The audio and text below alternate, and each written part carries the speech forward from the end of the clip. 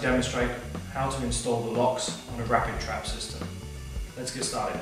Once you receive the lock for your rapid trap system, make sure that the following items are included in the package.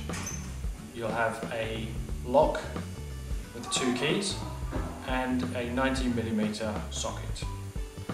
To install the lock into your rapid trap system, first off you need to remove the lid from your pannier.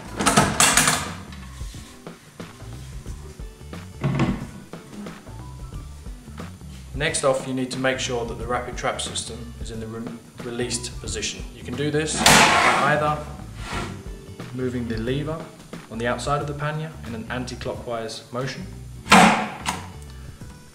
or alternatively, you can use the release lever inside the pannier.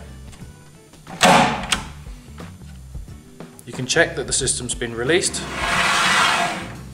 by making sure that the latch is in an outward facing position.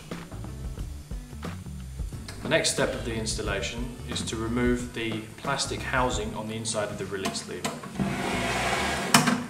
To do this you'll need a size 3 Allen key and you need to remove the two screws here and here.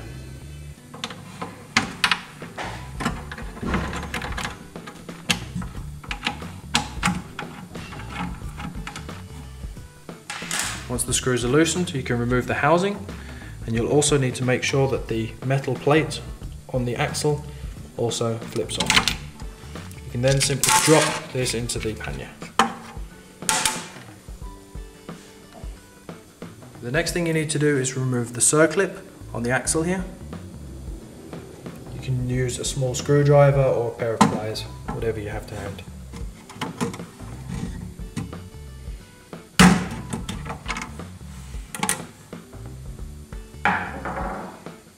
This point you can now remove the lever from the outside of the pannier just by pulling it off.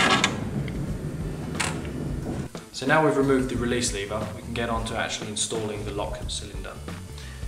To do this, we first off remove the metal plate and then remove the securing nut from the lock sleeve. Okay, then place the lock into the hole of the, of the plastic housing and secure it in place with a nut.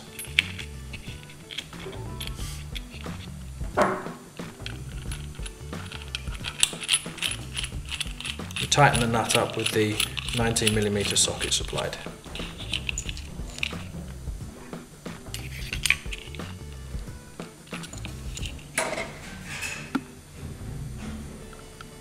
Now we've fitted the lock cylinder, we can get on with reinstalling the release lever.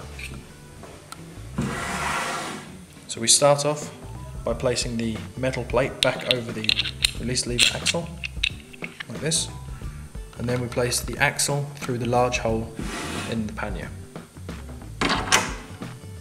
Then, working from the inside of the pannier, we first off place the plastic washer and secure it in place with the circlip.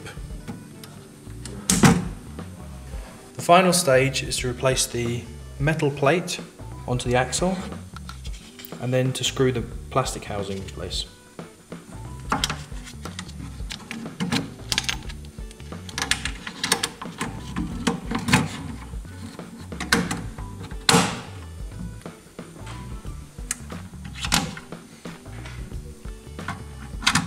To tighten the screws, you use the 3mm Allen key.